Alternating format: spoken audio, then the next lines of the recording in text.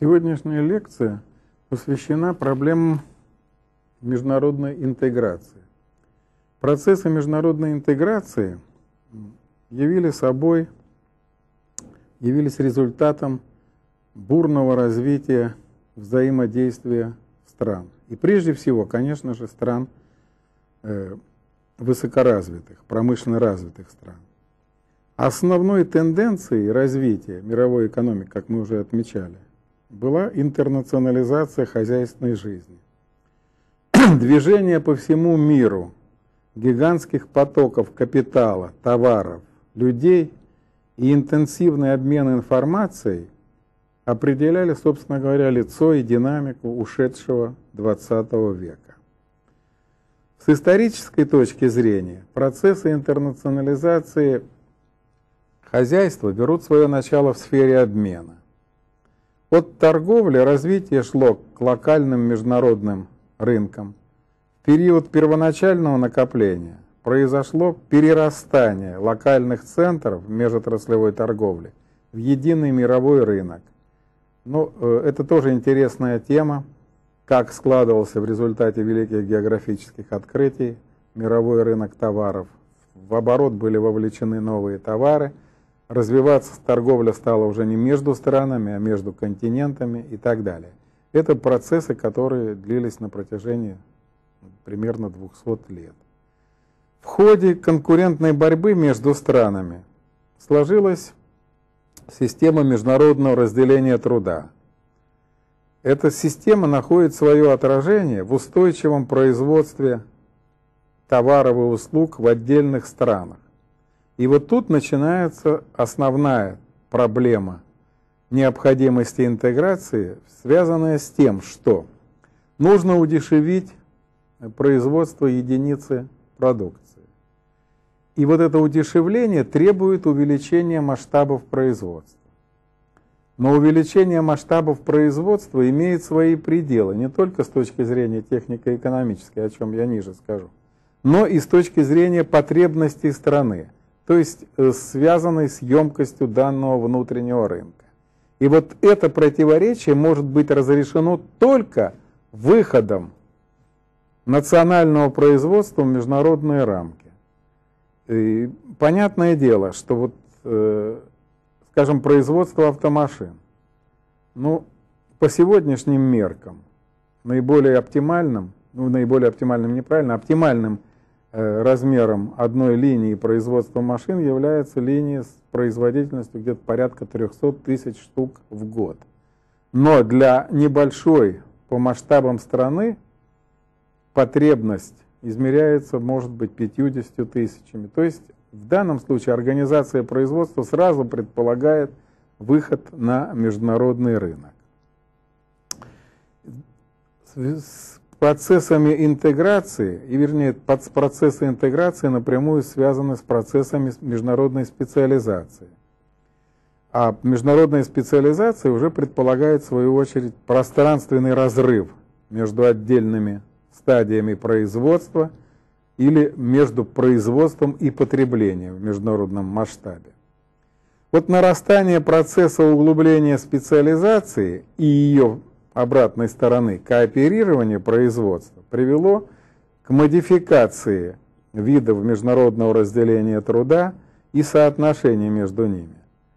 Э, если в начале развития мировой экономики типичной была межотраслевая форма разделения труда, но дальше начинается переход уже к внутриотраслевой. Причем не только внутриотраслевой в целом, но и по деталям, узлам, по стадиям э, технологического процесса. Особую роль играют внешние экономические связи в интеграционных процессах. Для современного этапа развития мировых хозяйственных связей характерны динамизм, либерализация всех видов связей, диверсификация их форм и видов всей внешнеэкономической деятельности. Вот так сказать, вступление э, к проблематике интеграции. Каковы этапы интеграции? Э, возьмем только 20 век.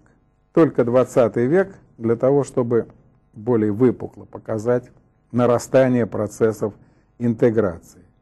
В 20-е и 30-е годы 20 века, который характеризовался всеобщим кризисом производства, кризис, который начался в октябре 1929 года в Соединенных Штатах Америки и привел там к Великой депрессии и к замечательному выходу из этой депрессии благодаря умной политике правительства Франклина Делано Рузвельта, президента Соединенных Штатов, политике, основанной на замечательной, уникальной макроэкономической теории Джона Мейнарда Кейнса. Этот кризис э, прошел по всем странам мира, привел к различного рода результатам, о чем мы говорили в других лекциях. Э, и неустойчивость экономических связей, которая наблюдалась после Первой мировой войны и после Великой депрессии, привела к постепенному сплочению хозяйств и экономик стран, во-первых, на путях преодоления э, результатов этого кризиса. Э, начиная с конца 40-х годов и вплоть до 80-х годов 20 -го века наблюдается интенсивный рост вывоза предпринимательского капитала. И вот рост производства за эти годы оказал основное влияние на все, собственно говоря, параметры мирового хозяйства. Главной силой в производственных связях стали так называемые транснациональные корпорации, о которых подробно мы будем говорить в следующий раз. По существу последний этап развития интеграционных процессов начался в последнем десятилетии XX века когда степень освоения географического пространства, формирования международных, а в ряде случаев планетарных производительных сил усилила резко экономическое взаимодействие и взаимозависимость стран. И здесь мы как раз приступаем непосредственно уже к непосредственно приступаем к понятиям международной экономической интеграции. Ну, в самом общем виде можно сказать, что э, международная экономическая интеграция – это процесс хозяйственно-политического объединения стран на основе интернационализации хозяйственной жизни. Э, интересная проблематика связана с тем, каким образом э, интеграция влияет на страны. Но прежде всего мне хотелось бы обратить внимание на те особенные черты интернационализации хозяйства, которые проявились главным образом на рубеже 20 и 21 веков. Ну, во-первых, после распада мировой социалистической системы уже по существу все страны мира оказались жестко включенными в систему мирохозяйственных связей вместо этих двух блоков, противостоящих двух друг другу, вот об особенностях интеграции внутри этих блоков я специально остановлюсь, специально расскажу. Следующая черта – это, конечно же, либерализация внешнеэкономических связей и международных расчетов. Эта система уже пронизывает, собственно говоря, всю мировую экономическую систему. Дальше внедряются единые для всех стран стандарты – стандарты на технологию, стандарты на загрязнение окружающей среды, стандарты на деятельность финансовых институтов. Устанавливается, можно сказать, единая общемировая система бухгалтерской отчетности. Приводятся в соответствие э, национальные статистические показатели. Ну, я уж не говорю о том, что, конечно, эти стандарты распространяются и на образование, и на культуру. Дальше. Для всех стран становится характерным внедрение одинаковых критериев макроэкономической политики. Э, выдвигаются единые требования к налоговой политике, политике в области занятости и так далее. Этому в значительной степени содействует деятельность международных экономических организаций.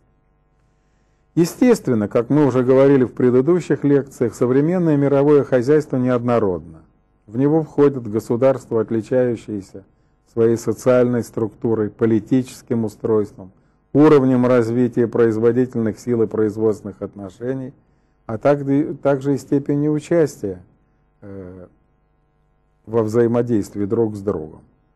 Конечно, когда мы говорили о структуре мирового хозяйства, мы выделяли прежде всего семерку стран, на долю которых приходится более 80% промышленного производства всех стран мира и около 60% э, всего мирового промышленного производства, электроэнергии, э, экспорта товаров и услуг и так далее, и так далее.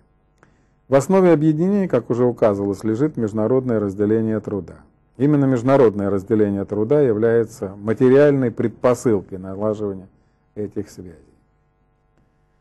Э, явления взаимодействия стран приобретают э, некоторые особенности, вызванные прежде всего, опять же, интернационализацией производительных сил – интернационализацией международного разделения труда, увеличением масштабов и качеством, и структурой, э, изменением структуры международной торговли, э, всеобщим перемещением факторов производства, финансовых, производственных ресурсов, колоссальное развитие сферы услуг, международного обмена научно-техническими знаниями. Наконец, можно упомянуть иммиграцию рабочей силы, который также дополняет э, процесс взаимодействия стран. Э, прошлая лекция была целиком посвящена проблеме решения глобальных проблем, э, в которые втянуты, в решение которых втянуты все страны мира. Речь шла о войне и мире, об освоении мирового океана, космоса, о продовольственной проблеме, о проблеме народонаселения и так далее. Вот э, процессы интеграции, процесс, что такое слово интеграция? Ну, в самом простом переводе это э, от латинского слова интеграция, восполнение или интеграция, то есть соединение из отдельных частей в единое целое. Международная экономическая интеграция – это уже э, явление более сложное, и оно основано на том, что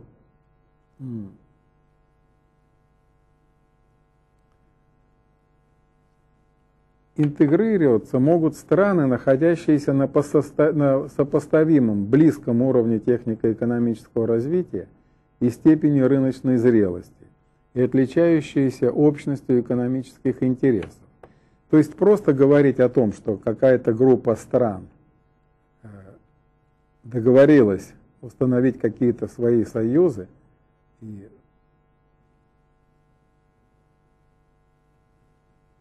тем самым продвинуть процесс интеграции нельзя. Этот процесс объективный, он идет независимо от воли и сознания людей, он и вызывается требованиями э, экономического развития. Я уже одну из черт назвал, главную, пожалуй, это выход производства за национальные рамки и необходимость взаимодействия с другими странами.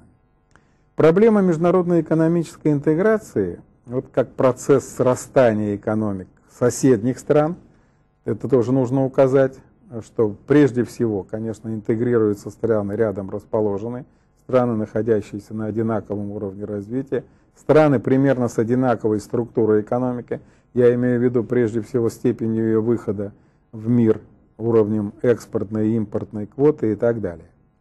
Так вот, э, процесс этой интеграции явился предметом изучения большой группы ученых мира. И до сих пор нет единства э, в теории международной интеграции. То есть сказать, что есть одна единая точка зрения и одна теория было бы неправильно. Я постараюсь просто перечислить основные теории, которые сегодня существуют.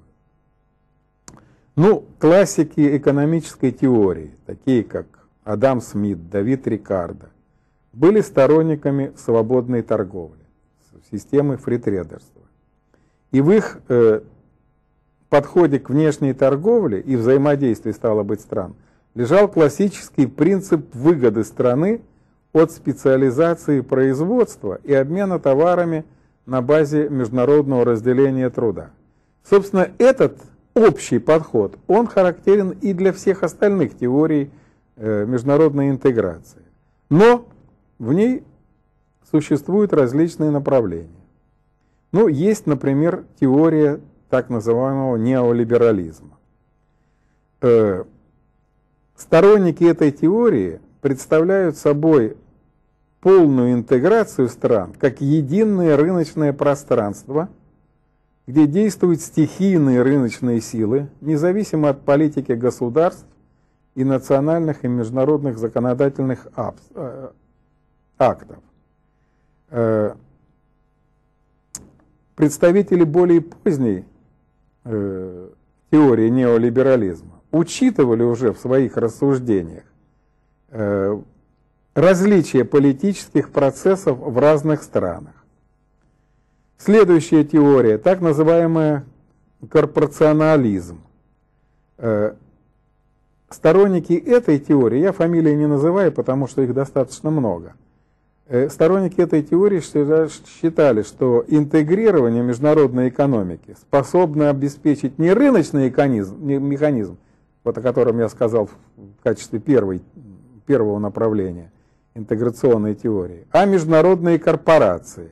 Международные корпорации, которые предопределяют развитие интеграции. В этом тоже есть довольно значительная доля правильного и здравого смысла. Следующее направление теории интеграции – это так называемый структурализм. Типичным представителем был лауреат Нобелевской премии Гуннар Мюрдаль, шведский экономист.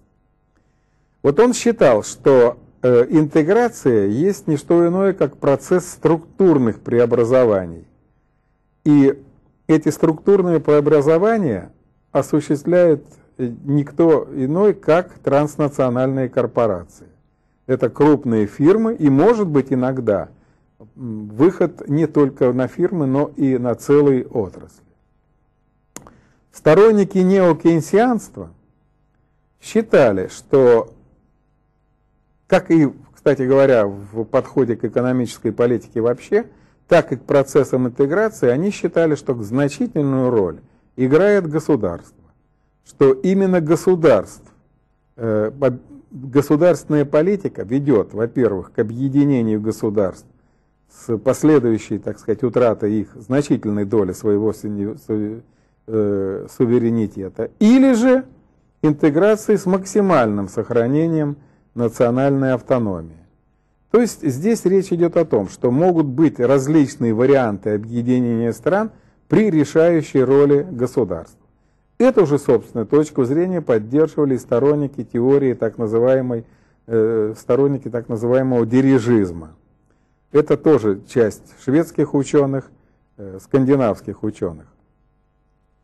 Они больший упор делали не на рыночные механизмы, а прежде всего возлагали на э, разработку, разработкой участниками этой интеграции общей экономической политики, э, согласование национального законодательства, приведение ее в единый вид и так далее. Но дирижизм – это опять-таки упор на большую, большее участие государственных органов управления.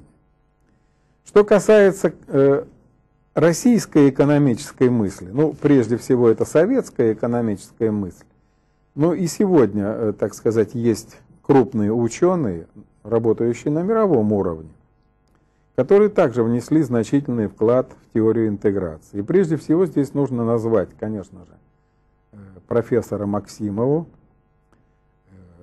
э, Николая Петровича Шмелева, академика Российской Академии Наук, и Юрия Валерьевича Шишкова. Вот я именно эти три фамилии хотел бы выделить. Дело в том, что Максимова, профессор Максимова, она первой, пожалуй, в нашей экономической литературе оценила э, значение западноевропейской интеграции. Нужно сказать, что успехи этой западноевропейской интеграции, конечно же, значительно превосходили те э, попытки объединения социалистических стран, которые наблюдались э, в период существования Совета, э, Совета вза... экономической взаимопомощи. Так вот, Максимова выпустила брошюру, и брошюра эта была выпущена с грифом «для служебного пользования». То есть нас ограждали от э, успехов западноевропейской интеграции. Конечно, это было своего рода преступление, прежде всего перед экономистами, потому что вместо того, чтобы учитывать и видеть этот объективный процесс, изучать его особенности, его закономерности и пытаться по мере возможности способствовать развитию интеграционных процессов внутри нашего социалистического лагеря, мы возводили еще одну, так сказать, искусственную преграду для проникновения новых прогрессивных идей. Это было, конечно, печальное явление. Вот я, пожалуй, э, в силу своего возраста, наверное, остаюсь единственным, может быть, из числа участников очень интересной работы – которую затеял, э, придя к власти, э, Никита Сергеевич Хрущев. Никита Сергеевич Хрущев, э, он, между прочим, своим, особенно на первых этапах своей деятельности, здравым умом, он многое понимал отчетливо, ясно и честно. Он действительно видел, что там идет очень резкое объединение экономик стран. Там уже пошли люди, так сказать, дошли до подетальной, поузловой, технологической специализации производства. А мы стараемся, так сказать, каждая страна производить всю гамму изделий, которые имеет современная промышленность. Ну, можно понять, каковы масштабы производства, каков уровень, каково качество тех изделий, которые в таких условиях производятся. И вот Никита Сергеевич, кстати говоря, когда вот его ругают за то, что он уничтожил отраслевые министерства, забывают о том, что кто-то, я думаю, что семья в значительной степени повлияла, э, кто-то ему сказал, что э, сегодняшние проблемы решаются на стыке отраслей. То есть электроника и машиностроение, электротехника и станкостроение и так далее. Вот. А у нас это как само достаточные изолированные министерства. Вот я делаю станки, и меня абсолютно не волнует, что происходит рядом в электронике. В то время как станки с электронным управлением э, как раз и были последним, так сказать, словом в развитии науки, научно-технического прогресса. Но, как всегда, у нас, если что-то делается, то с чисто большевистским размахом, революционным образом, вместо того, чтобы действительно по-умному преобразовывать эти министерства, создавать какие-то межотраслевые комплексы, а межотраслевой комплекс на Западе это крупные э, транснациональные корпорации. Так вот, вместо этого Никита Сергеевич одним махом взял и ликвидировал отраслевые министерства. Ну, легко сказать, ликвидировать отраслевые министерства. Это же, представьте, десятки тысяч людей были перебазированы из Москвы, тут сохранялись у них квартиры, а их отправили в отраслевые, в, в территориальные органы управления, так называемые совнархозы. Но это я просто как пример, что разумная идея была нашим исполнением, так сказать, доведена до полного абсурда. Я был молодым человеком и ездил по этим совнархозам, собирал данные для того, чтобы хотя бы не терять статистическое наблюдение за отраслью ну, раньше это было в рамках министерства, когда их расформировали, никто в стране не знал, сколько производится трансформаторов и так далее. И вот я видел такую картину, скажем, приехал в Запорожье, там один единственный э, трансформаторный завод в этом запорожском совнархозе. Но этот единственный завод является крупнейшим в Европе, а может быть одним из крупнейших в мире. Он один, а в стране таких заводов еще штук 40-50. И вот э, я своим, так сказать, скудным умом и экономическим образованием и то понимал, что в области трансформаторостроения должна быть единая техническая политика.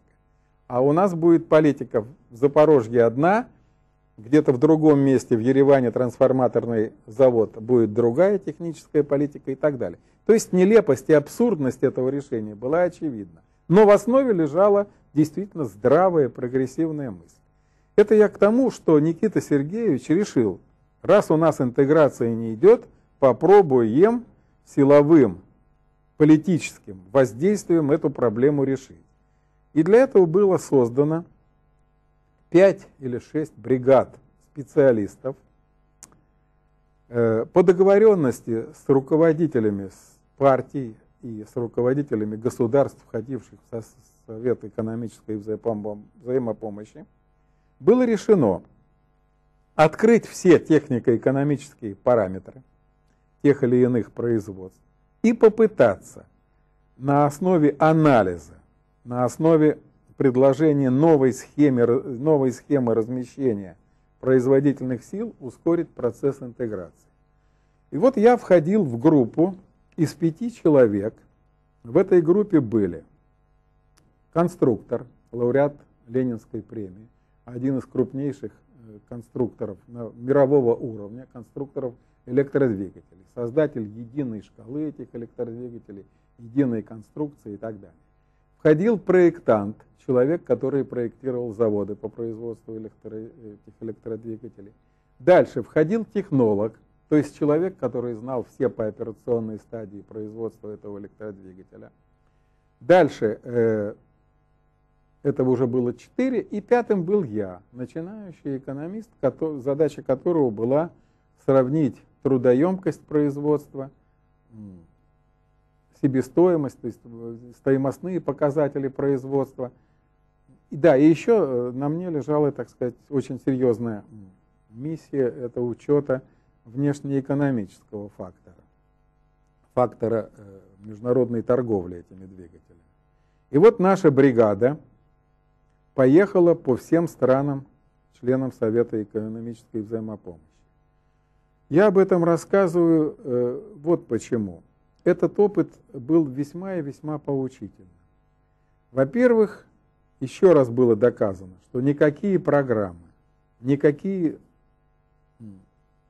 политические проекты не могут быть осуществлены, если для этого нет объективных экономических условий. Это примерно то же самое, что и манифест коммунистической партии, где содержались призывы к счастливой, радостной жизни, без всякого учета той реальной атмосферы – которые сложились в мире, не позволявшие, вообще говоря, ни одному из постулатов этого манифеста быть реализованным. Точно так же и эта попытка превзойти интеграцию Запада вот таким искусственным путем, она тоже, конечно, оказалась провальной. Но дело не столько в этом. Дело в другом. Что действительно, э, картина была весьма и весьма печальная. Ну, скажем, возьмем Болгарию при численности населения в 10 миллионов человек эта страна имела металлургическую промышленность при отсутствии всякого сырья. Имела нефтехимическую промышленность при отсутствии сырья. Значит, все это завозилось из Советского Союза. Если выплавлялся металл, то из него что-то предполагали делать, делали станки. Дальше. Делали те же самые электродвигатели и так далее. Все это в мизерных, чудовищно э, малых масштабах производства даже для условий той же Болгарии.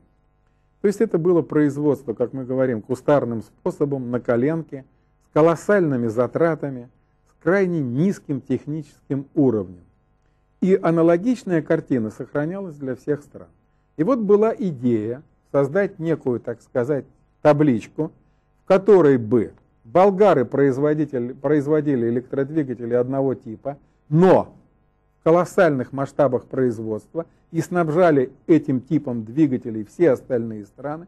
Ну и по аналогии другие страны точно так же отказывались от э, производства этих, так сказать, более это была единая конструкция, от большого количества разнообразных видов сосредотачивались на одном и другом.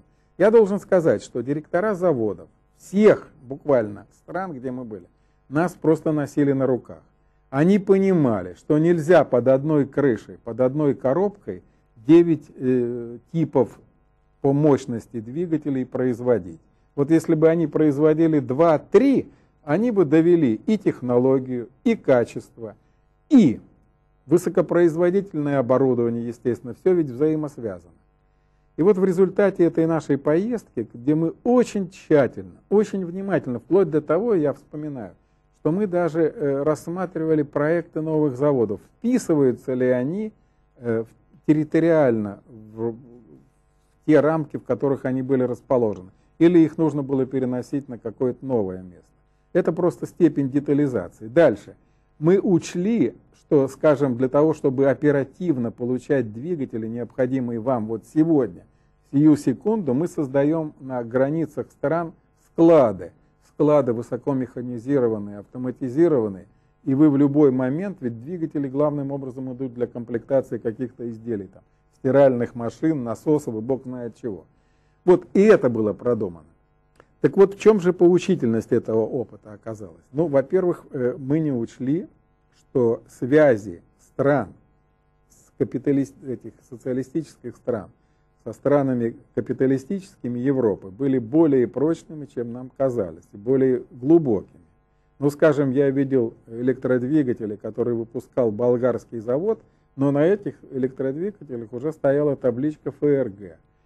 О чем это говорило? Ну, во-первых, болгарам было выгодно эту продукцию реализовывать ФРГ, получать за нее свободно конвертируемую, как мы тогда говорили, валюту.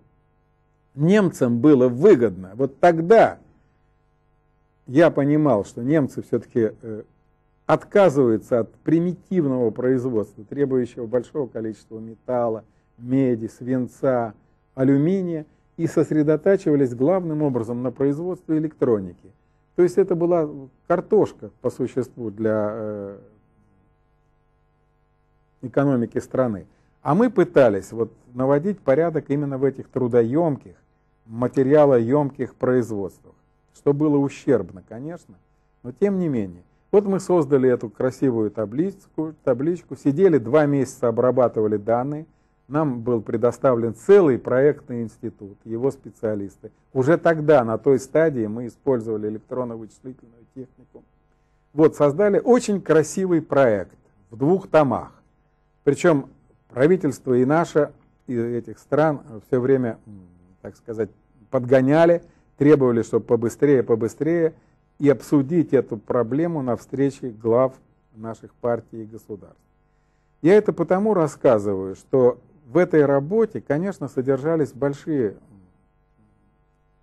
большой, я бы сказал, запас прочности, научный запас, который показывал, что можно сделать, а чего сделать нельзя, что будет успешно, а что э, обречено на провал.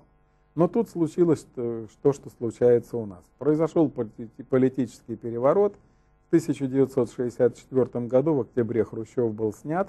И члены правительства, которые оказывали нам содействие и которые участвовали в нашей работе, все оказались в положении, так сказать, неизвестной судьбы. И их уже больше волновала собственная судьба, чем этот проект интеграции производства между странами социалистического лагеря. Иногда сейчас к этим работам возвращаются, вот как глубоко, как серьезно мы мыслим. Но это я все рассказываю к тому, что нельзя искусственным образом продвинуть процесс интеграции, который на Западе шел весьма и весьма успешно. Почему же он шел успешно? Вот дальше мы с вами посмотрим, э, что дает, собственно говоря, интеграция для стран, которые в нее включаются. Ну, во-первых, сокращаются транзакционные или так называемые внешние издержки. Ускоряются темпы развития взаимной торговли. Дальше. Конкуренция, которая возникает между сотрудничающими странами, ведет прежде всего к снижению цен, к улучшению качества, созданию новых технологий, сокращению неэффективных производств. Дальше еще один такой момент, на что тоже следует обратить внимание. Происходит рост иностранных инвестиций, потому что страны, которые не входят в эту интеграционную группировку и имеют свободные капиталы, они пытаются проникнуть на этот новый рынок, довольно объемный рынок интегрирующихся государств. И в этом тоже заключена одна из существенных положительных сторон развития интеграции. Дальше следующий, следующий содержательный момент сегодняшней лекции э, – это этапы развития интеграции. Я вынужден буду на них останавливаться не очень подробно, хотя каждый из них заслуживает, конечно, серьезного рассмотрения. Ну, обычно первым этапом развития международной экономической интеграции считаются так называемые зоны свободной торговли. Ну, в чем смысл этих зон свободной торговли? Прежде всего, это в этих отдельных территориальных районах мира создаются льготные условия для сотрудничающих стран. А именно, снижаются ценовые барьеры, таможенные барьеры во взаимной торговле. Вот, сохраняются национальные тарифы в отношении третьих стран. Э, межгосударственных органов на, этом, на этой стадии зон свободной торговли, естественно, пока не существует. Вот у меня э, большой материал, связанный с деятельностью этих свободных экономических зон. Он тоже очень интересен, очень поучителен. Попытка создать эти зоны по образу и подобию западных зон, вот сегодня наиболее интересными представляются зоны свободной торговли в Китае, где по уровню производства, по качеству эти зоны превосходят и Соединенные Штаты, и Японию, и Тайвань. То есть производство в этих зонах. Это такие уникальные районы, Шэньчжэнь, скажем, в Китае, где люди, побывавшие там, просто поражены. Это уже явление не 21, а может быть 22 века. Может быть, это, конечно, маленькая частичка огромной экономики Китая, но она распространяет свой опыт на все другие отрасли, является как бы лабораторией развития. Вот у нас самой природой предопределено было э, существование таких зон, как, например, зона свободной торговли, э, свободная экономическая зона в Находке или в Калининграде. Ну и там, и там они, конечно, рухнули и по тем же самым причинам. Прежде всего, разворовывание средств, которые возникали, потом превращение э, этих зон в криминальную так сказать, сферу отмывания капитала и всего прочего.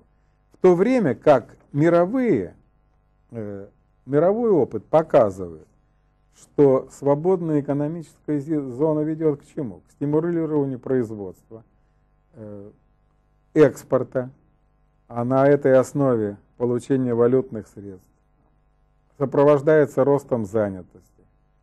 Э, собственно, зоны превращаются, как я уже сказал, вот китайская зона Шэньчжэнь, в полигоне по опробованию новых методов хозяйства, э, который подлежит дальнейшему распространению. Вот. Дальше. Эти зоны являются особыми, так сказать, центрами привлечения иностранного капитала в силу больших налоговых льгот. Капитал туда устремляется с большим. Ну, существует много различных, так сказать, видов, типов. Если взять общие, э, общую характеристику этих зон, то можно выделить такие. Торговые, этот свободные таможенные э, зоны, склады, свободные порты. Дальше промышленно-производственные экономические зоны, промышленные парки, научно-промышленные парки, технико-внедренческие зоны, где создаются технополисы, технопарки. Сервисные, это вот мы их часто слышим о них, это, так сказать, офшорные зоны, зоны особых банковских услуг, туристических услуг и так далее. Существуют и комплексные зоны, где зоны свободного предпринимательства, вот специальные экономические зоны Китая, как я сказал, территории особого режима в Бразилии и так далее. Вот это одна из э, первых, что ли, ступеней развития интеграции – это зоны свободной торговли. На смену зонам свободной торговли приходит следующий этап. Это э, таможенный союз. Таможенный союз, когда уже страны договариваются между собой о введении единых таможенных правил, о введении единых таможенных тарифов, о практике единых таможенных э, выступлений на внешних рынках. Следующий этап.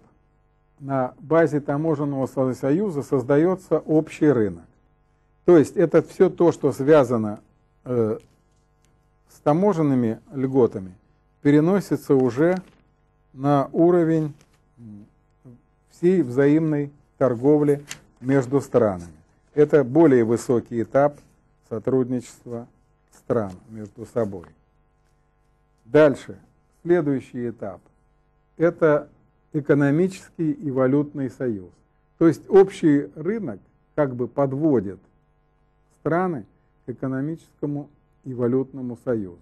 Но это все можно документально проиллюстрировать на примере Европейского Союза. Но я этим не буду заниматься, я расскажу просто о структуре. Когда буду говорить о структуре и органах Европейского Союза, покажу, как эти органы, э, как эти союзы осуществлялись. И, наконец, э, финишем вот этих этапов развития интеграции является общий политический союз, в частности, э, примером наиболее типичным и наиболее интересным это Европейский союз стран. Европейский союз стран. Значит, ну, когда я говорил о предыдущих этапах, что можно ответить? Таможенный союз характеризуется отменой таможенных пошлин во взаимной торговле, единым тарифным и нетарифным регулированием. Создаются уже межгосударственные таможенные советы на уровне государств. Следующий этап – это предполагает свободу движения товаров, услуг, капитала, рабочей силы. Причем тут уже регулярными становятся встречи руководителей государств и так далее. Экономический союз и валютный союз предполагает уже в значительной степени полную производственную интеграцию и введение наднациональных органов.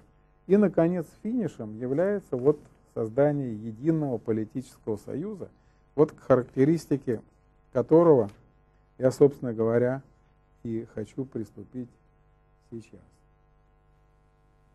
Ну, нужно еще пару слов сказать о том, что интеграция вообще в целом осуществляется на двух уровнях. Это мы всегда говорим применительно взаимодействию стран в любой сфере.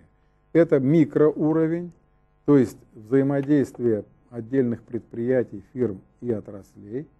И это макроуровень. То есть речь идет уже о международной торговле и движении факторов производства на основе согласованных международных э, договоров между странами.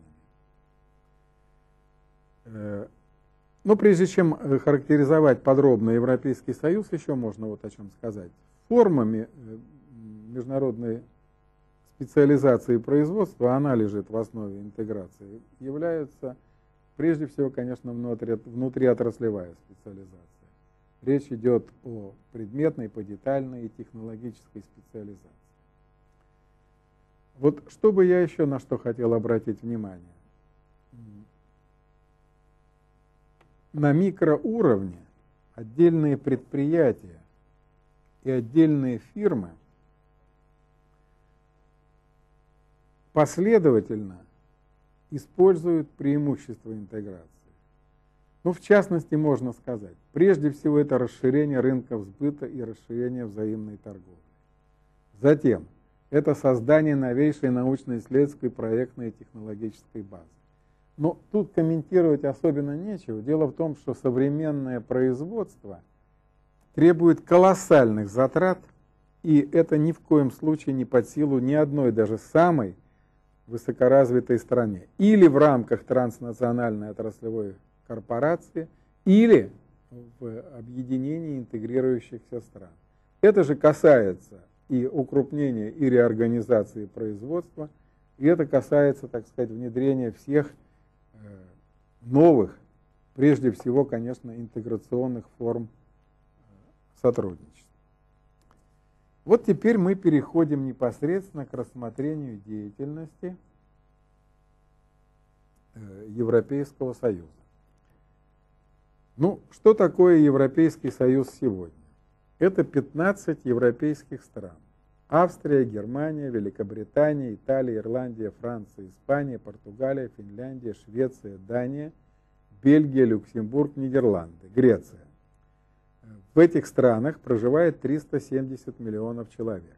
В Европейский Союз не входят три европейские страны, это Швейцария, Норвегия и Италия, которые заключили между собой особое соглашение Европейской ассоциации свободной торговли, но я бы хотел э, здесь сделать такое пояснение. Конечно, то, что они не входят это, э, в Европейский Союз, это явление временное, но имеющее под собой довольно серьезные основания.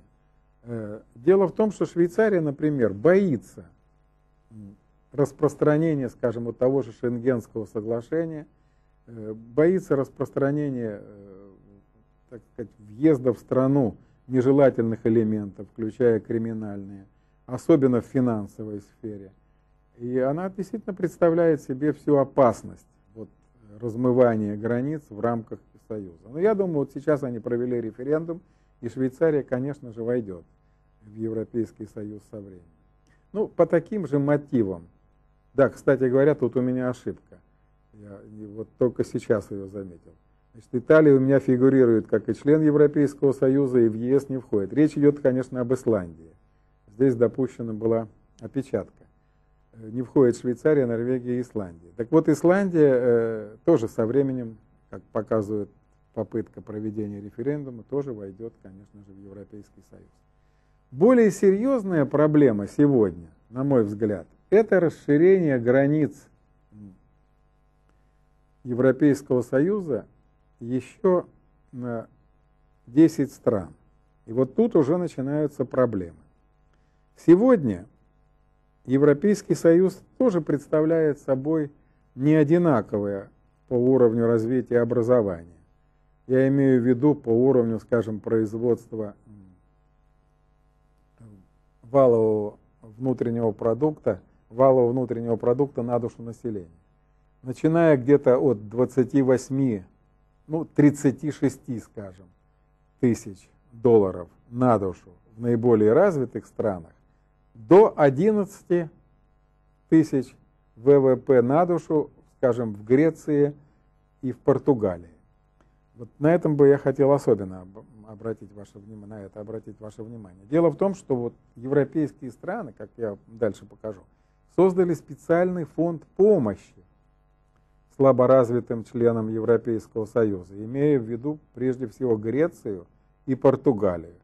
То есть сегодня для Европейского Союза уровень ВВП в 11 тысяч кажется весьма-весьма низким. Он в 2-3 раза уступает э, самым развитым странам Европейского Союза. А что же будет теперь, если сюда вступят Болгария, Польша, прибалтийские государства, Румыния, где уровень ВВП на душу от полутора тысяч, даже может быть и меньше в некоторых из них, ну, до трех, до четырех. То есть э, я думаю, что это э, шаг, который приведет к гибели Европейского Союза. Вернее, в каком смысле гибели? Он будет существовать, он будет принимать решения, но той реальной роли в экономическом содействии развитию стран он уже играть не сможет. Польша первым делом заявила, что уже ей нужно э, какое-то огромное количество средств для того, чтобы выйти на уровень европейских стран. Но Польша это очень крупная страна по европейским меркам. Это 40 миллионов человек, худо-бедно. Это примерно такая же численность, как и в Испании. И подтянуть Польшу с ее тремя-четырьмя тысячами долларов на душу до уровня Испании где-то 13-14, это задача не одного десятилетия. Вот. И, конечно, и решения, которые будут приниматься, они будут э, противоположными по своему содержанию интересы наиболее развитых стран будут противоречить интересам вновь вступивших стран, которые только будут пытаться получать, но меньше давать сюда. И мне кажется, что это, да и сами европейцы понимают, во многих статьях они об этом пишут, что дальнейшее расширение состава Европейского Союза, на мой взгляд, как и вот на взгляд многих авторов из западных стран, принесет больше вреда, чем пользы. Конечно, интересы быть вместе, в едином строю с странами, которые живут совершенно по другим нормам и порядкам, страны, где существует сегодня единая валюта и так далее, конечно, хотелось бы. Если посмотреть на историю создания э, Европейского Союза, то я бы отметил такие моменты. Прежде всего, это вот так самый известный, это Маастрийский договор 1991 года. Вот этот Маастрийский договор включал три принципиально новых качественных момента. Во-первых, вводилось единое гражданство ЕС, которое существует э, параллельно с национальным гражданством стран-членов ЕС. Что это означает? Это означает, что житель любой страны в соответствии с Конституцией своей страны и европейским и правилами и нормами общеевропейского э, союза имеет право не только на перемещение, но на работу, на жилье, на все те льготы и социальные прав, права защиты, которые существуют в национальных рамках. Второй момент – это формирование политического союза. А что это такой политический союз? Это проведение интегрированной внешней политики, э, тесная увязка внутренних политик, особенно вот в борьбе с преступностью, ну, на современном этапе можно дополнить борьбе с терроризмом. Дальше. Максимальное сближение юридических систем и повышение роли парламента Европейского Союза. Но об этом парламенте я скажу несколько э, позже. И, наконец, третье. Это формирование экономического и валютного союза, сердцевиной которого стала единая валюта – евро. А вот если вернуться, скажем, на 10-15 лет назад, то даже самые смелые умы экономистов не могли представить себе, что страны откажутся от национальных денежных единиц и перейдут на единую валюту евро. Кстати сказать, э, за это предсказание Роберт Мандел, американский экономист, получил Нобелевскую премию. Мало того, что он подробно описал, каким образом возникнет эта единая валюта, он и дал ей название. Именно он придумал название евро. Но, во всяком случае, основная масса населения и ученых не могла себе представить, что это произойдет в такие короткие сроки, что действительно появится единая валюта для всех стран. И то, что сегодня две-три страны, скажем, Швеция, Великобритания, Дания, еще не перешли на это евро, но это дело времени. Они увидят, конечно, там есть свои подробности, когда мы будем рассматривать систему валютно-кредитных отношений, на этом мы остановимся особо, но тем не менее общее положительное воздействие евро, конечно, очевидно, единой валюты. Это облегчает связи, облегчает торговлю, вообще ведет к совершенно иному миропредставлению и миропониманию. Вот э, дальше у нас будет рассмотрение органов этого Европейского Союза. В настоящее время функционирование Европейского Союза обеспечивается целой системой органов, которые собственно говоря, способствуют, да и служат прогрессу интеграции. Это Совет Европейского Союза, это Комиссия Европейского Союза, это Европейский парламент, это Европейский суд, это Европейский инвестиционный банк, это особый инвестиционный фонд при Европейском инвестиционном банке, это Совет министров на уровне министров национальных правительств высший законодательный орган. Ну, сразу же скажу, три опоры Европейского Союза. Все направления политики, связанные с функционированием таможенного союза, единого внутреннего рынка, созданием и развитием экономического и валютного союза. Это первая черта. Вторая. Общая внешняя политика и политика безопасности. И, наконец, третье – это сотрудничество в области юстиции и внутренних дел. Теперь мне хотелось бы более подробно рассмотреть органы Европейского Союза. Это очень интересно и полезное э, мероприятие рассмотрения этих органов. Ну, высшим политическим органом Европейского Союза является Европейский Совет. Когда договаривались о Союзе Европейских Сообществ, э, речи об учреждении такого высшего политического органа не было не, не велось. И только в 1974 году главы государств Европы приняли решение о проведении регулярных совещаний. Вот с тех пор созываемый по меньшей мере дважды в год Европейский Союз принимает решения по основным вопросам жизнедеятельности этого Европейского Союза. Такие решения не имеют обязательной силы, как записано в соглашении о создании Европейского Союза. Но на деле, в реально, конечно же, э, этот э, Европейский Совет предопределяет политическую стратегию Европейского Союза, и на основании этой стратегии, собственно говоря, и действуют другие органы Европейского Союза. Следующий орган – это Совет министров Европейского Союза. Это э, главы правительства, собирающиеся периодически на встречи. Это по существу главный законодательный орган Европейского Союза. Э, вот в отличие от национальных органов, когда национальные правительства не, наделяются законодательными функциями, вот Совет министров Европейского Союза принимает законодательные акты, которые имеют обязательную силу. Как они принимаются? Они могут приниматься либо единогласно, либо, либо квалифицированным большинством. Количество голосов определяется размерами стран.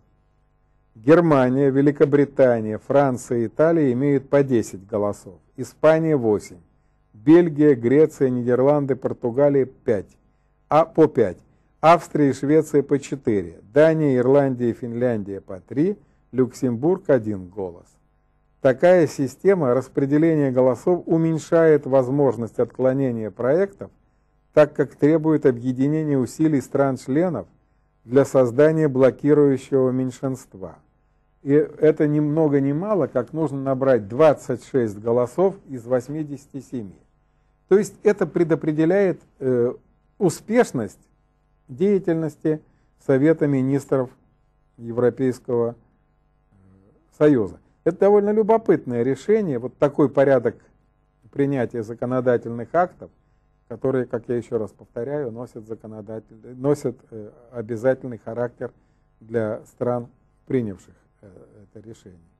Дальше идет исполнительный орган основной Европейского Союза, это комиссия. Э, комиссия Европейского Союза. По существу это наднациональный исполнительный орган. И вот что любопытно, члены комиссии назначаются правительствами стран, но с одной оговоркой, что никогда в своей деятельности член комиссии не будет преследовать национальные интересы, или точнее будет руководствоваться национальными интересами. Он должен руководствоваться интересами всего Европейского Союза. На практике, э, в общем-то, исключений довольно мало. Действительно, назначаемые национальными правительствами члены комиссии, на пять лет они назначаются,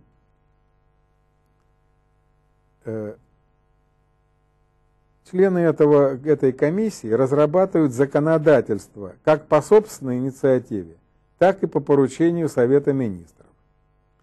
Ну, кроме того, что вот готовит законодательные акты или руководствуется актами, которые принял Совет Министров э, Европейского Союза, собственно говоря, комиссия Европейского Союза управляет финансами. Дальше очень интересный орган – это Европейский парламент.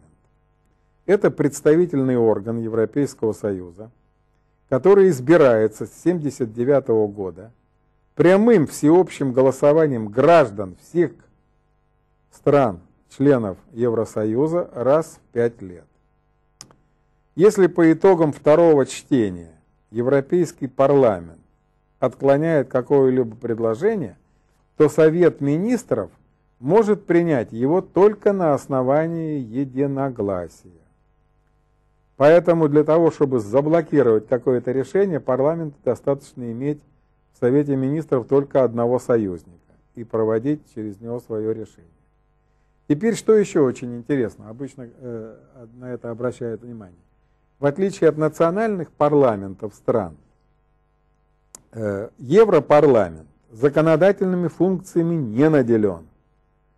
А каковы же его функции? Это прежде всего контроль работы комиссии европейской, причем работа ее прозрачна, и любой парламентарий, избранный вот на основании всеобщего прямого и тайного голосования, имеет право знать не только решения, но и все те предшествующие моменты, которые способствовали принятию этого решения.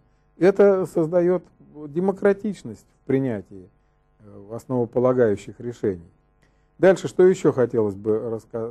Э, значит, э, мало того, что он контролирует, Европейский парламент имеет право распуска этой комиссии, если ему покажется, что функции и полномочия превышены и противоречат интересам Европейского Союза, а может быть и отдельных стран.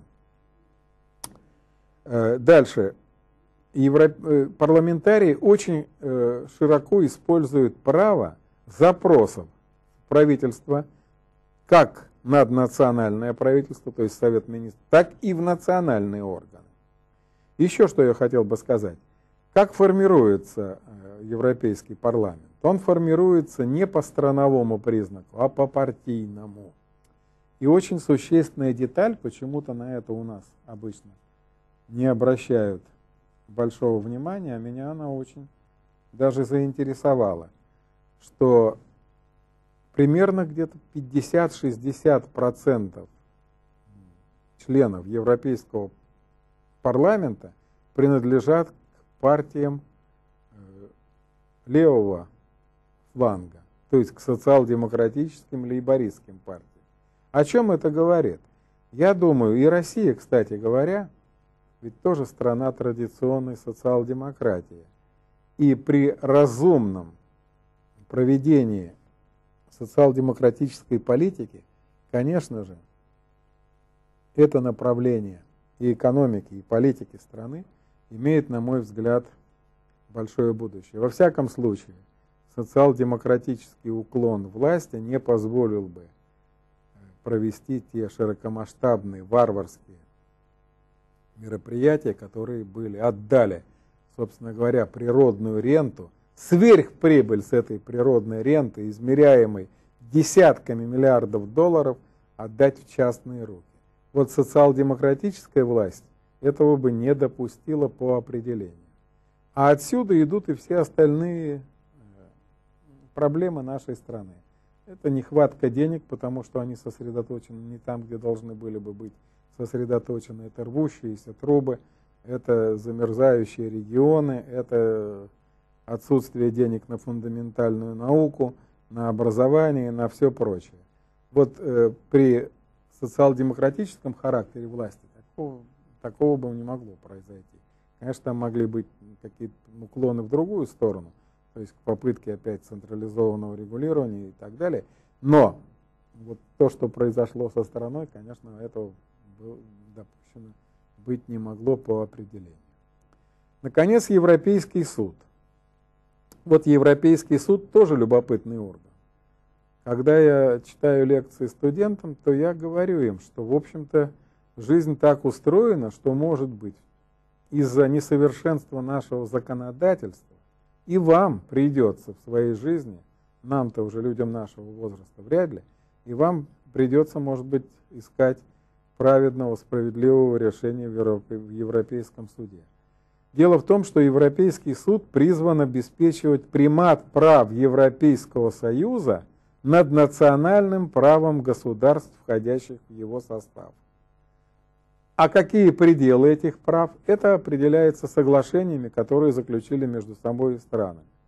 Это означает, что римские договоры, единые европейские акты, договор о Европейском Союзе, а также договор о присоединении к ЕС новых государств-членов, значит, обязательны к исполнению всеми подписавшими их государствами. А статьи этих договоров и созданные на их основе акты включаются в национальные законодательства. Это вот как раз очень э, обнадеживающий факт, что мы всей своей природой, ну природой я имею в виду всем, всей своей историей, своим геополитическим положением, мы, конечно же, должны быть членами этого Европейского Союза и подчиняться решению Европейского суда. Суд следит также за единообразным толкованием законодательных актов и за их исполнением. Но обеспечивает соответствие текущей практике, основополагающим принципам этого интеграционного союза. Европейский суд занимается непосредственным регулированием отношений между физическими и юридическими лицами и Европейским Союзом как таковым. Для всех областей, на которые распространяются права Европейского суда, Евросуд является судебным органом высшей инстанции. Еще один момент деятельности Европейского Союза нужно, это как раз и является, собственно говоря, следствием глубокой экономической интеграции. Это финансовая, структурная и научно-техническая политика Европейского Союза. Ну, основой является общий бюджет. Общий бюджет Европейского Союза. Доходная часть бюджета формируется за счет отчислений от налога на добавленную стоимость от национальных поступлений. Половину примерно э, доходов Европейского Союза, бюджета Европейского Союза составляет э, вот налог на НДС.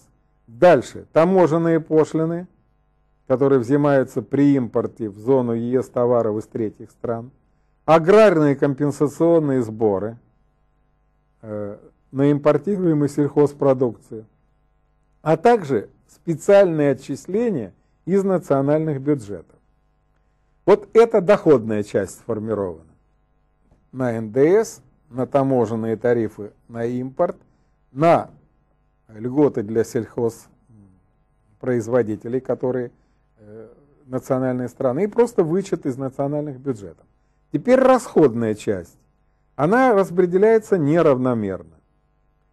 Э, традиционно значительную часть, может быть даже большую в некоторых случаях, э, Европейский Союз выделяет для аграрной политики. Это связано с тем, что очень болезненно сказывается на жизни крестьянства европейских стран. Вот включение в единый союз. Все-таки страны э, с разной степенью развития сельского хозяйства, где-то преобладают маленькие, как во Франции, парцелярные участки, и им трудно соперничать с крупными, э, большими фермами, существующими в других странах. Вот здесь нужны дополнительные субсидии, дополнительные э, вливания для того, чтобы поддержать на определенном уровне. Дальше. Это первая существенная часть. Вторая – это региональная политика. Что имеется в региональной? Это прежде всего помощь тем странам, которые менее развиты. Дальше – расходы на социальную, научно-техническую и промышленную политику. Ну, в частности, вот э, все эти расходы отдельными строками аграрный, социальный, региональный включается в э, Европейский фонд, так называемый, Европейский социальный фонд и Европейский фонд регионального развития. Ну, Европейский социальный фонд, он создан в 1960 году и предназначен для финансирования программ э, для оказания помощи депрессивным регионам, которые охвачены структурной безработицей. Ну, расшифруем, что это значит. Есть регионы депрессивные, то есть там, где в силу каких-то структурных изменений старые отрасли умирают, а новые еще не образованы. И вот в этих э, случаях безработица, которая следует за этой структурной перестройкой, она нуждается в определенных денежных вливаниях. И вот э, для этого как раз и существует этот социальный фонд, который выплачивает субсидии для переподготовки и переобучения кадров. Больше того, даже специальные статьи предусматривают возможность перемещения рабочей силы из депрессивных регионов. Опять-таки, вот разумность политики на уровне такого, казалось бы, конгломерата 15 стран с разными национальными традициями, с разными национальными бюджетами, с разными, в конце концов, уровнем развития, с разным менталитетом в значительной степени, тем не менее находят способы договориться о том, о чем, например, в нашей стране не может договориться единая власть оказания помощи депрессивным регионам или регионам, пострадавшим от каких-то стихийных бедствий. Это поразительно. Дальше. Европейский фонд регионального развития. Это специально созданный в 1975 году фонд для финансирования программ по выравниванию уровня экономического развития различных регионов. Ну, к числу э, относительно отсталых регионов, я уже говорил, относятся Греция, Португалия, юг Италии, Испания, Ирландская республика. Вот эти э, регионы, им, этим регионам оказывается помощь. Причем специальная система индикаторов для того, чтобы выявить, какой регион наиболее, наиболее отсталым. Это уровень безработицы, доход на душу населения, удельный вес продукции сельского хозяйства и так далее. Вот. Дальше существует еще Европейский фонд развития. Это фонд специально созданный для помощи тем странам, которые пока в Европейский Союз не входят, но ассоциированы. Вот, структурная политика производится, как проводится на двух уровнях, на региональном и на отраслевом. Ну, уже я сказал, не буду повторяться, что наибольшую помощь оказывает сельскому хозяйству. Для стимулирования аграрного производства при более высоких, чем мировых ценах на территории Европейского Союза действует ряд регламентов, которые предусматривают защиту внутреннего рынка. Это о чем идет речь? При импорте более дешевой продукции из третьих стран взимается компенсационный сбор. Своим сельскохозяйственным производителям гарантируется сбыт по ранее определенным ценам. Дальше, следующий момент. Перест... Э, особое, так сказать, уделяется внимание политике перестройки промышленности по отдельным регионам. Ну, в частности, сокращается доля традиционных отраслей, текстильная, металлургическая, угледобывающая. Идет тенденция к закрытию многих базисных отраслей нерентабельных. И наоборот – к открытию новых отраслей в этих депрессивных регионах. Вот. Э, ну, это дальше уже идут, так сказать, тонкости финансовой деятельности этих фондов. Вот Европейский Союз сегодня, что еще нужно сказать? Что это крупнейшая торговая держава, на которую приходится четверть мировой торговли. Это один из трех мировых центров современного мира, наряду с Соединенными Штатами – и Японией. Это центр многообразия культурных различий и уважения к ним. Каждая, вот еще одна деталь, каждый официальный документ должен быть переведен на 9 официальных языков. Причем поощряется развитие языков и культур малых народов. Значит, Союз добивается выполнения поставленных перед ним задач и целей прежде всего путем проведения общей политики. Общая политика в таких сферах, как сельское хозяйство, рыболовство, транспорт, окружающая среда, внешняя торговля, развитие конкурентной региональная политика, энергетика, таможенный союз, а также общие проекты, вот на это тоже следует обратить внимание, и программы научные исследования и разработки, телекоммуникация, координация экономической политики государств и так далее. Э, крупнейший торговый в мире, э, торговый блок в мире, это Европейский Союз, выполняет цели, которые содержатся э, в договорах о его создании. Достижение прежде всего четырех свобод. Речь идет о свободе движения людей, о свободе движения товаров, о свободе движения капитала и о свободе движения услуг. Вот. И создание и проведение общей политики все большим, так сказать, э, числом, все большем числе областей. Европейский Союз поддерживает дипломатические отношения более чем со 130 странами мира.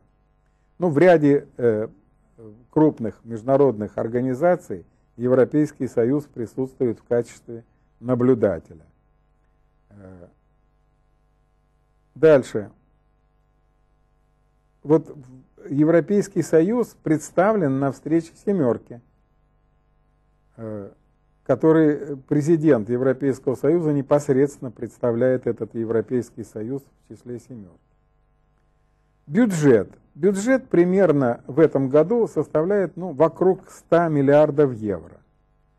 Вот. Это, э, так, э, может быть, по сравнению с бюджетами отдельных государств не так много, но ведь и цели довольно локальные, довольно ограниченные, хотя и несущие очень большую пользу участникам этих программ. Примерно половина, то есть около 44 миллиардов евро, как я уже говорил, направляется на развитие сельского хозяйства. Ну, оказывается значительная помощь странам вне Европейского Союза, ну, в частности, вот балканским странам, Афганистану и так далее. Вот что произойдет дальше? Если число стран 15, которые есть сегодня, увеличится на 10 или на 11, то по расчетам ученых, это вот подтверждение той мысли, что Союз потеряет много. По расчетам э, численность населения увеличится примерно на 30%. И вот в данном случае ВВП, по расчетам Еврокомиссии, уменьшится на 15%, потому что производственные мощности предприятий увеличатся лишь на 9%. Причиной является сравнительно низкий уровень экономического развития таких стран, как Польша, Венгрия, Болгария, страны Балтии. Балтии. Вот. Ученые и аналитики отмечают, что в той или иной степени снижение общего ВВП наблюдается даже при принятии в ЕС высокоразвитых стран. Так, в 1995 году, после вступления Австрии, Финляндии и Швеции, общий объем снизился на 3%. Вот. И это в подтверждение тех идей, о которых я говорил, что э, не всегда количественное расширение стран приведет к качественным прогрессивным изменениям. И об этом нужно думать сегодня. Теперь несколько бегло, может быть, я назову реги э, некоторые региональные объединения э, других континентов и других стран. Это прежде всего э, я бы назвал нафту. Нафта это объединение трех стран – Мексики, Соединенных Штатов и Канады. Вот тут деталь такая, я хотел бы обратить внимание. что две высокоразвитые страны, находящиеся примерно на одинаковом уровне развития, блокируются с третьей. С чем это связано? Прежде всего с надеждами э, на использование низких издержек производства, которые существуют в Мексике. Это несет пользу и Мексике, и так далее. Суммарный объем ВВП нафта очень большой.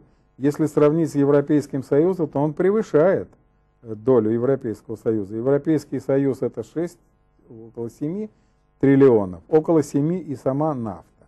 Значит, вот это асимметричный характер э, подтверждается тем, что на Соединенные Штаты приходится 85% ВВП производства этих стран и совсем незначительная доля э, этой страны. Но тем не менее. Значит, расчет на резкое увеличение американского экспорта, а это к чему ведет? Это к увеличению занятости, дальше к переносу трудоемких, наукоемких и грязных производств вместе в Мексику. Это снижение издержек производства и повышение конкурентоспособности, проникновение новейших технологий и так далее. Дальше, о ком бы еще я хотел сказать. Это АТЭС, это форум Азиатско-Тихоокеанского сотрудничества, АТЭС по-русски. Сначала входило 12 стран, сейчас уже большее количество. Вот. АТЭС – это один из э, предопределяющих, так сказать, э, региональных объединений. Почему? На долю стран этой группировки, а сейчас входит Китай, Соединенные Штаты, Канада, Россия, Гонконг, Тайвань и ряд других государств, на этот, регион, на этот, э, на этот союз Азиатско-Тихоокеанского сотрудничества приходится 50% мирового ВВП, 50% мирового экспорта товаров, 40% населения Земли и 30% территории Земли. Это очень существенный, так сказать, объект интеграционных. Существует латиноамериканская интеграция. Э, ну, здесь бы я, пожалуй, что отметил, это э, так называемую Меркосур то есть объединение южноамериканского общего рынка в составе Аргентины, Бразилии, Парагвая и Уругвая. Кроме того, есть отдельные мелкие. Вот Меркосур наиболее крупная, имеется в виду, это четыре страны с двумя, двумя стами миллионами человек, суммарный ВВП примерно 1 миллиард долларов. Ну вот, при этом, конечно, решающая э, роль принадлежит Бразилии, на которую приходится 80% населения, 40% торговли, 60% экспорта и так далее. Вот. Э, в Африке создаются тоже примитивные, конечно, э, но тем не менее интеграционные объединения с той же целью извлечь максимальную экономическую э, выгоду из объединения потенциалов государств. И, наконец, мне бы хотелось э, несколько слов сказать о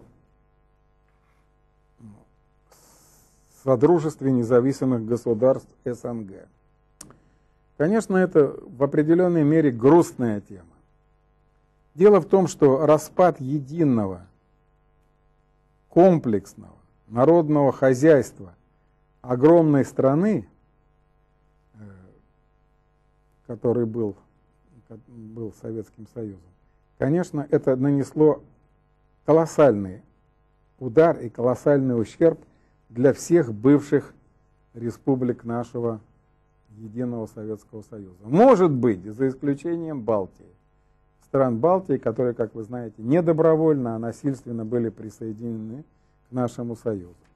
А вот что касается э, стран СНГ, то разрыв произошел, собственно говоря, по-живому. Те традиционные производственные связи, кооперативные связи, э, во многих случаях, которые предопределяли жизненный уровень, предопределяли степень развития науки, образование, вот эти все связи разорваны неестественно.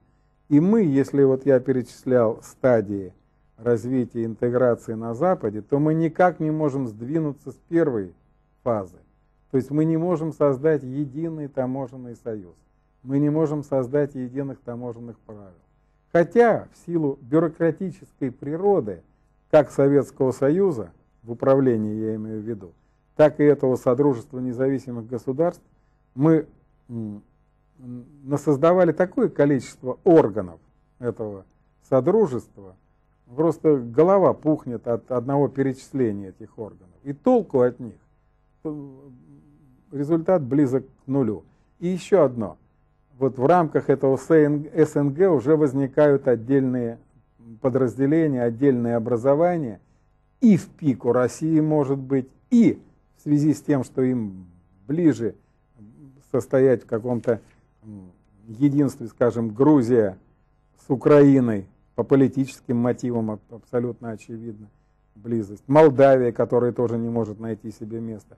Ну и так далее. То есть это э, больше свидетельствует об неуспехах СНГ, чем об успехах этих отдельных. Евразийский союз сейчас возникает как противостояние другим странам. Хотя есть факторы, которые предопределяют э, объединение постсоветских государств. Это, во-первых, взаимозависимость хозяйственных комплексов, технологическая общность производства. Очень немаловажно – это единство применяемых стандартов, единство сетей коммуникации, э, факт сопредельности государств. И, наконец, что обычно забывается, это язык. Ведь очень смешно, когда э, на Украине Кучма говорит, так, москалей нет, стало быть, будем говорить по-русски. И вот тем и печальнее, что факторы, о которых я говорил и довольно подробно, не принимаются во внимание, и Союз находится довольно в плачевном состоянии. Так, дальше идут вопросы для самопроверки. Я их не буду читать вслух, посмотрите э, сами.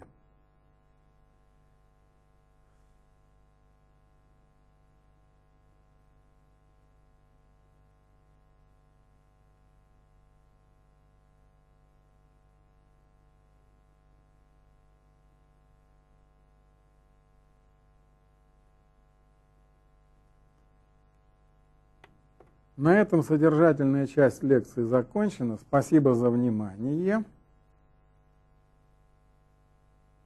А дальше я хотел бы прокомментировать литературу.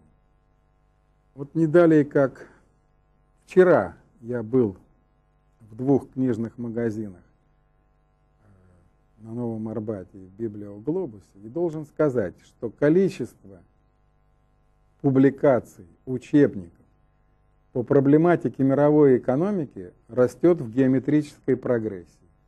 Мне уже сегодня трудно выделять из этого огромного потока популярный, малопопулярный, сложный, общемировой, отечественный, учебный, теоретической, выбирать то, что я мог бы рекомендовать. Но я остановил свое внимание вот на следующих работах. Работа